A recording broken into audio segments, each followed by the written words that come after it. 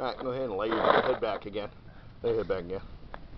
As you can see, you can put your head on the ground if you want to go to sleep, so it's not a big deal. It doesn't need a headrest.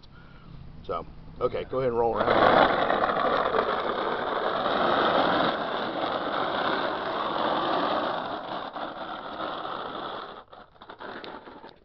Actually, those are crashed really well too. Yeah! Didn't even fucking have a problem with it. No!